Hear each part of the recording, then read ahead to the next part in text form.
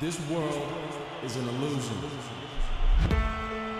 In a world called Inamorta, you are surrounded by discriminate nations devoted to their individual technology and struggle for dominance. Trust no one! Each society has developed its own unique way to wage war. Proud of their unique craft, they have become obsessed to the point of worship, turning weapons to religion.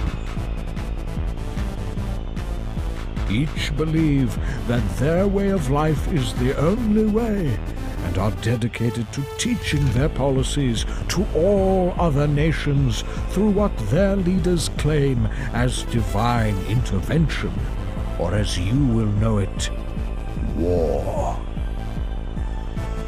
The others are known as Archidons, the way of the archer, Swordwrath, the way of the sword, Magikill, the way of the mage, and Speartons, the way of the spear. We live as we dream.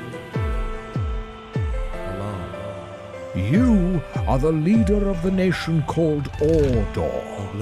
Your way is of peace and knowledge. Your people do not worship their weapons as gods. This makes you a mark for infiltration by the surrounding nations. Your only chance to defend is to attack first and obtain the technology from each nation along the way.